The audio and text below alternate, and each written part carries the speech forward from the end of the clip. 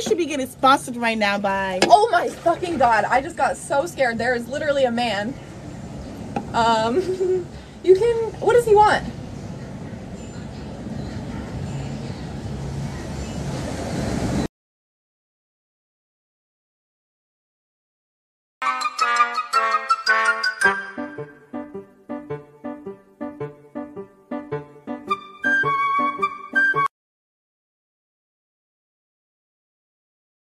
I don't know how I get myself in these situations, but yeah, the story starts with me. Buckle in, you're gonna wanna stay to the end. So this story starts with me going on my normal run that I go for a few miles every day, and I usually pass the elementary school that's near my house, but I noticed a cop was following me this time. I wasn't worried until I saw this emergency vehicle headed towards the school just a mile in. But this is when it gets worse. I was headed to my friend's house after my run, and I noticed passing by the elementary school that there was at least double the amount of cops there. After going to my friend's house, this is the only video I had from it. Checked my phone to see my mom blowing me up with texts. When I got back to my neighborhood to see what was going on, that's what I saw. Somehow I ended up here. I'm running out of time, so I'll explain it in the next video. So I used to know this girl who would constantly say things like, Guys, sorry, I'm so ugly. I just ruined the whole group photo, I'm sorry. And then everyone would automatically comfort her and be like, No, you're beautiful. You shine. And then she would be like, No, but thank you.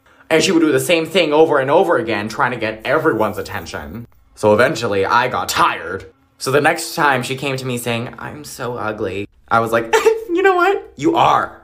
She was like, What'd you say? And I was like, Bitch, if you think you're ugly, I can crop you out of the photo. The fuck do you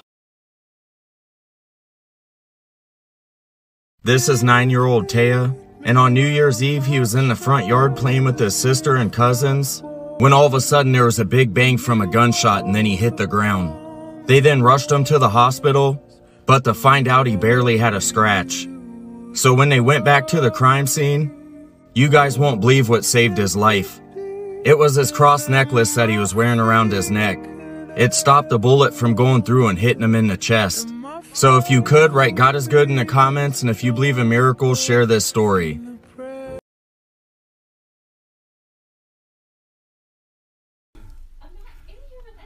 No, I heard you talking to someone. Who are you talking to? No, I wasn't. I was watching the news. Watching the news? You don't watch the news. Yes, I do. Name one news anchor. Katie. Katie. K- Katie. Kirk. What the fuck? You went to a public high school? Who is the kid who faked cancer? It was my best friend, freshman year of high school. She pulled me aside at 7 in the morning and she's like, I have something to tell you. And I'm like, what's up? And she's like, so I went to doctors and they told me that I have cancer and I'm going to surgery in two weeks. I told her, I was like, what type of cancer? She's like, blood cancer. I just have to get my blood drained. Excuse me? I should I was I was 14, okay? I should have fucking known better. But she was like, yeah, um I may die. Pretty much she told me that like something may happen. And I'm like, okay, well, I'm getting myself prepared to lose my best friend, pretty much. And so the day after surgery comes and I call her during my lunch and I'm like, hey, are you okay? And she's like, yeah, I'm going in right now. I'll make sure someone texts you when I get out. So I'm waiting the entire day. And then at 8 p.m., I get this text from this boy named Sam that I had never heard of telling me that she's in a coma and on life support because the surgery didn't go well. Dominique, nique, nique, s'en tout simplement, oh pauvre et. En tout chemin, en tout lieu, il ne parle que du bon Dieu, il ne parle que du bon Dieu. À l'époque où Jean sans terre d'Angleterre était le roi, Dominique, notre père, combattit les albigeois. Dominique, nique, nique, s'en allait tout simplement, routier, pauvre et chantant. En tout chemin, en tout lieu, il ne parle que du bon Dieu, il ne parle que du bon Dieu. Certains jours, un hérétique par des ronds. Story time of how my best friend got so weirdly obsessed with me that she even plotted to kill my boyfriend. So at the time, me and this girl, let's just call her Olivia, had only been friends for about two years. I mean, we really did everything together. We were with each other 24 7, and I mean, we were pretty good friends. But the only thing about our friendship is she did not like when I had other friends. I mean, she didn't have any other friends herself, but literally, she would joke around about strangling my other friends. because she didn't like when I gave my attention to anyone else. But honestly, I just thought of it as a joke. And then I started dating this guy, let's just name him Jacob. He was probably the sweetest guy I had ever met, and he was a real simp for me. So we started dating, and about four or five months go by, and he started getting these texts from a random number. And it would always be cringy things like leave her or you die, get away from her, and like stupid cringy threats. One night, me and him were just hanging out. Then he gets a text with his exact address saying he had till tonight to leave me, or he wouldn't see another day. Then we hear a knock at the door. I'm running out of time. Customer, can I please have 20 resin keychains for my daughter's birthday? Me, yes, of course. Just let me know the letters and colors you would like. Customer, could I please have 10 A's, 3 E's, 7 G's with multicolor? Me, yes. Thank you for getting back so quickly. Since your order is a custom order, you will have to PayPal me. The total is $20. Customer, okay. One hour later, customer, okay. The payment is sent. Have you received it? I'll check PayPal. Me, no, not yet. Are you sure you sent it to the right account? Customer, yes, your PayPal account is right. Me, yes, that's it. Let me reload the page and see if I get anything. I reload the page and don't see anything. Me, do you mind just sending me a screenshot of your payment? Something must be wrong with my PayPal. Customer takes a screenshot from the internet of somebody else's payment.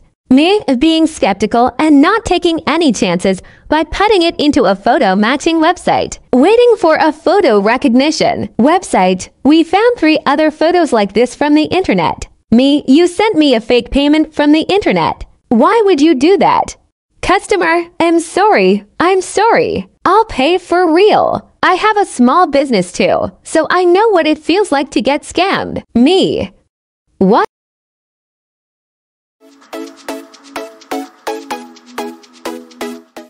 Honestly, I think we all met that girl that goes, Oh, I have a lot of guy friends. And I think all of us guys know when a girl says that, it's like an automatic red flag. Like, I remember back in high school, I met this girl in math class, and I remember her walking up to me, and she said, Hey, Bubba, can I add your snap for like homework reasons? Now, I'm gonna be honest, I was like basically failing almost all my classes because I'm, I'm not gonna lie, I'm not the smartest kid when it comes to school. But at the same time, though, I was, you know, in that state where I did hit puberty, so I didn't look ugly, so a girl getting my snap wasn't a big shock. Anyways, I remember when I went home that day, she ended up snapping me. She snapped me saying to come over and help her with homework that she had. And when I asked her what kind of homework, she said math. So I already know it was automatically just BS and she wanted to just, you know, do the devil's tango. So I ended up going over. And when I went over, let's just say the most sweatiest things happened. Fall for part two. It was the first time I had ever seen a dick. And the dude, he just like whipped it out. Like, like, like, there was no like, all right, you ready? It was just like a.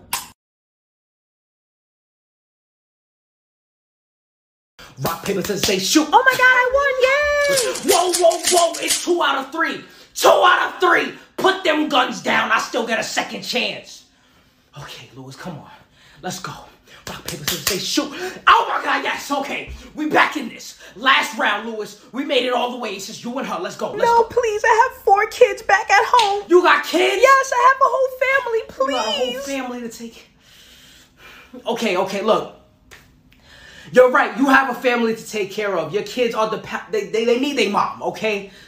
All right. So this what's gonna happen. You gonna throw paper. I'm gonna throw rock, and then you gonna collect the prize money and go take care of your family. Okay. Oh my god, thank you so right, much, sir. this. Thank you, thank you, thank you. Rock paper scissors say shoot. Oh my God! You actually fell for that. Give me my money. Give me my money. No, what about my kids? Oh, your kids? Fuck them kids. Give me my money.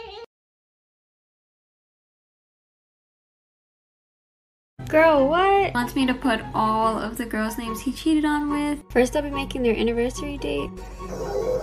Now for the names of the girls he cheated with. She's gonna give him the necklaces in front of his family so that he can read it out loud. The other side is their anniversary. She also got herself butterfly necklaces for Hot Girl Summer. And this crystal bracelet that takes away negativity in your life. I can't wait to see his reaction. This random bird flew into my grandma's house and refused to leave. The next day, I went to visit her, and it was sitting on her shoulder. No matter how many times she puts it outside or puts it down, it comes back to her. Tell me your craziest one in a million story. Something that happened to you that you just can't believe was real. So my dad always wanted a son. He just kept trying and he, he just couldn't give up. I have three sisters. He kept kept trying. Um and then there was me. I was finally born. I wasn't supposed to be born on the day that I was born.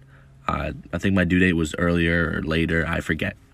But my dad, the day that I was born, he had to cancel work. And the day that he had to cancel work, he had a security meet on the 101st floor of Tower 1 of the Twin Towers. And I was born on September 11th, 2001. So my dad didn't go to work that day, and he got a baby boy. Nah, nah, we ain't giving no hold. I ain't Romeo and I'll hold, hold. Making a party, chocolate Barbie.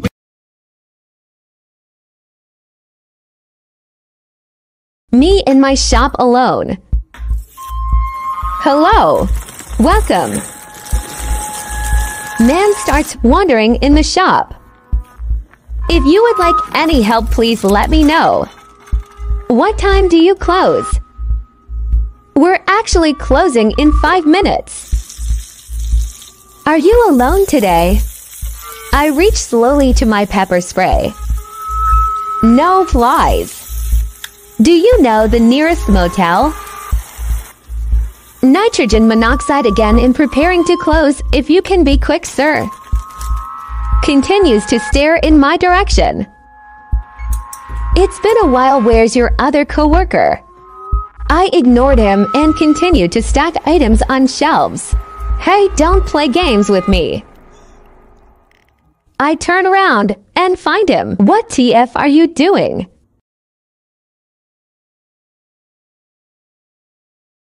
You know, Deborah, that was really racist. No, she's from another time. You gotta be understanding. She's from another time? Yeah, things were different in her time.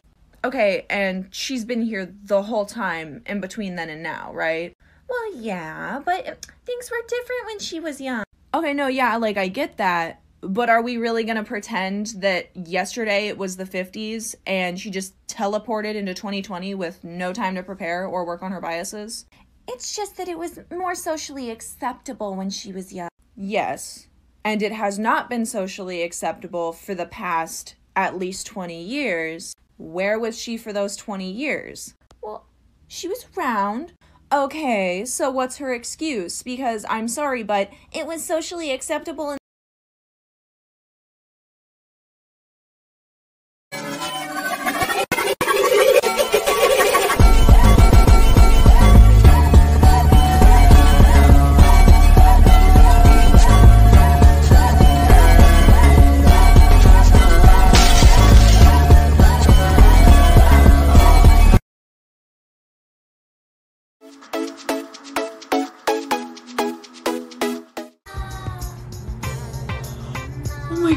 god, my soulmate is poor. Oh my god. Um, here you go. Hey girls. Hey bestie. Oh my god, my soulmate sent me $35,000. Wow. Yeah, and mine sent me 20. What about you? Yeah, mine sent me like 25,000. Oh god, he's so poor. Okay. Here, take it. Oh god. Hey dad. I was wondering just for funsies, what would happen if my soulmate is poor? Honey, don't be silly. We're wealthy rich. That would never happen. Yeah, um, are you inviting anyone poor to my birthday party? Oh god, no, never. I'll see you at the birthday party. Who are you?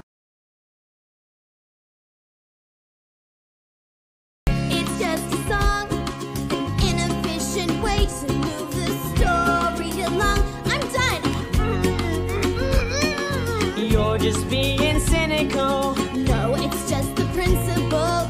Someone, won't you make it, make it stop? Don't make it stop.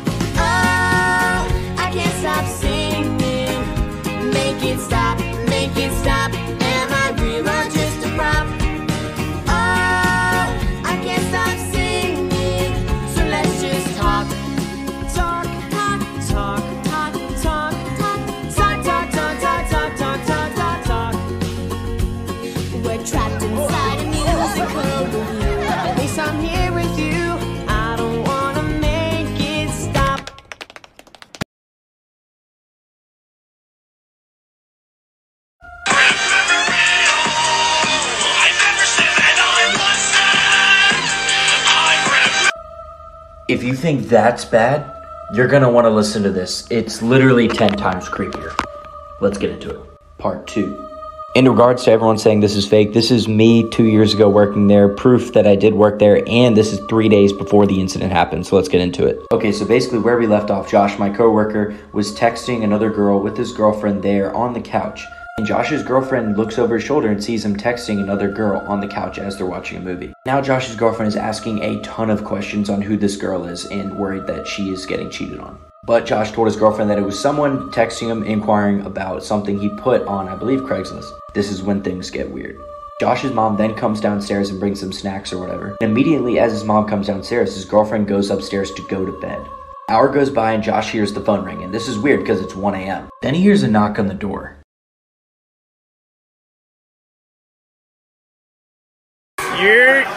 Yo, Uzi. Uzi. What's good, bro? Can you pay for my college tuition? 90 grand, I go to Temple, bro. 90 grand? I could pay for that. I know you can. I But this is the thing, though. If I pay for your college tuition, are you going to finish college? Are you Of course. bullshit? Nah, 100%. I don't bullshit. I'll finish What's that. your name on Instagram? Big ass heel. Big ass heel. Big Make sure- ass heel. Make sure you show me all of your, your transcripts, everything. Show me all of your papers and everything, and you can get 90000 from me. All right, bro. Fuck. All right. If you I'll- don't, if you don't show you. me, you won't get 90 Nah, I got you, bro. If you show me, if it's I'll show college, you. I got you. You come to gotta Temple show me proof. sometime too, bro. You gotta show me proof. All right, love you, bro. Take it easy.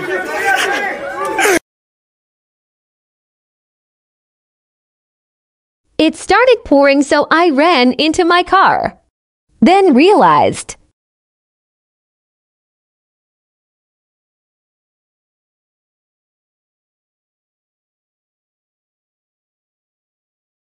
this is not my car.